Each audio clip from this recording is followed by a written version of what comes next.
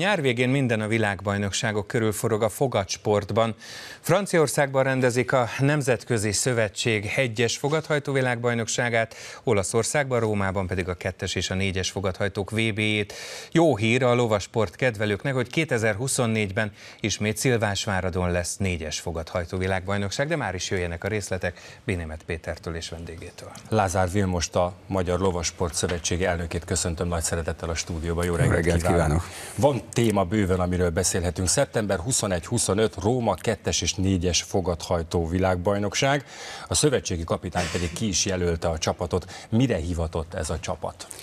Azt kell mondjam, hogy a fogadhajtó szakágak között a király kategória mégiscsak a négyes fogadhajtás, aminek a világbajnokságára készülünk, de most a csapat nem érkezik igazi győzelmi esélyekkel.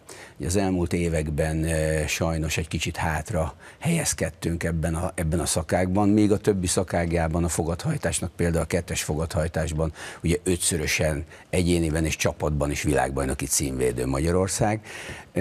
Úgy tekintünk erre a világbajnokságra, mint egy ilyen nulla pont, és, és a 24-es Szilvásváradon megrendezésre kerülő négyes fogadhajtó világbajnokságra kellene a csapatunkat oda menedzselni, hiszen egy hazai rendezésű verseny attól kerek, hogyha vannak magyar esélyesek, és a közönséget úgy lehet igazából lázba hozni.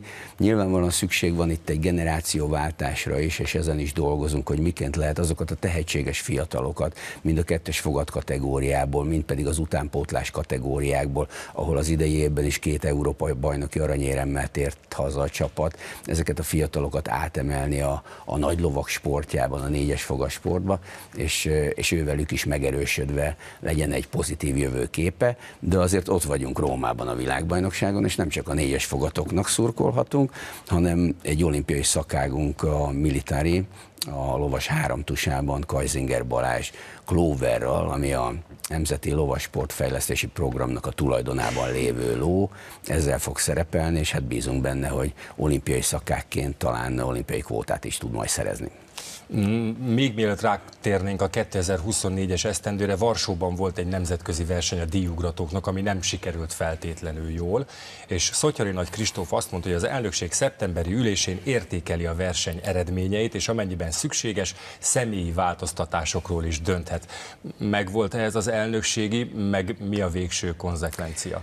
Gyakorlatilag Varsó egy válaszvonal volt elkezdtünk egészen másképp gondolkodni. Egy program keretében hajtjuk végre egyébként, és a programnak az a célja, hogy eljussunk a Párizsi olimpiára, lehetőleg mind a három olimpiai szakágunkban, mint a diugratásban csapattal. Ugye 1980-as moszkvai olimpia óta csapattal nem vettünk részt, tehát azért van, van mit pótolni. Elkezdtünk egy munkát, és gyakorlatilag a BL-be játszatjuk a fiainkat, és nem mindig vannak erre száz százalékban felkészülve. Befejeztük ezt az önállítást, az önbecsapást, ami eddig történt, hogy alacsonyabb szintű versenyeken elért helyezéseket, eredményeket fölsztárolva gyakorlatilag jó hírünket keltettük. Én azt tartottam, és hál' Istennek a, az elnökségben a többieknek is az volt a véleménye, hogy, hogy ezt be kell fejezni, be kell dobni őket a mélyvízbe. Természetesen minden feltételt biztosítani kell ahhoz, hogy jól szerepeljenek, vagy el tudják ezt a célt érni, és, és aztán meglátjuk, hogy mi lesz a vége. Ez volt az első állomás. E, nyilvánvalóan lehúzták a vizes lepedőt a csapatról, és nem szeretnék olcsó magyarázkodásba kezdeni, e, de, de mégiscsak ki kell álljak mellettük, hiszen hiszen sok-sok körülménnyel kezdett meg, kellett megküzdeni. Először is, mikor megérkeztek oda, ekkor a pályákon még nem lovagoltak. Ez egy olyan szintű pálya volt, ami az olimpia vagy a világbajnokságnak a legmagasabb szintje. Hihetetlen technikás, tehát oda álltak a fiúk az akadály elé, hát ekkorákat még nem is nagyon láttak, nem hogy a, a lovak. Nyilván azért edzéseken ez, erre felkészültek. Egy hosszú több hónapos Németországban történő felkészülés előzte meg.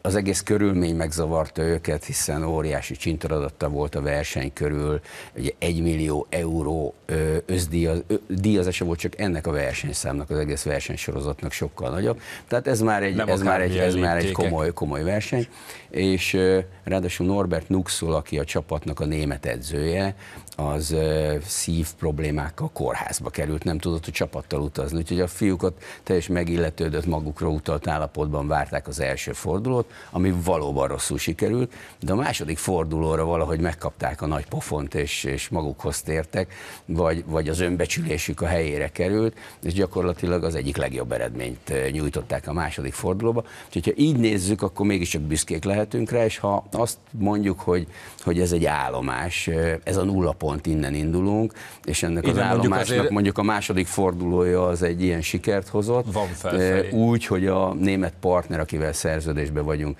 még azokat a lovakat nem biztosította számunkra, amit szerződésben vállalt. Eh, Úgyhogy ez, amit, Ez a, amiről... ez, a, ez a sportló tenyésztési program Így része? van, sportlótenyésztési és sportfejlesztési programnak a része, úgyhogy amiről a szövetség, illetve az elnök úr eh, Szotyori Nagy Kristóf beszélt, hát nyilvánvalóan ki kell mennünk a következő héten, hetekben Németországban, és ott lesz egy-két keményebb beszélgetésünk. Egy kérdést engedjen még meg, 2024-ben ugye olimpia lesz, nagyon fontos lenne az olimpiai kvóta szerzése, illetve Szilvásváradon lesz egy világbajnokság, 40 év után lesz házigazdája a világbajnokságnak Szilvásvárad.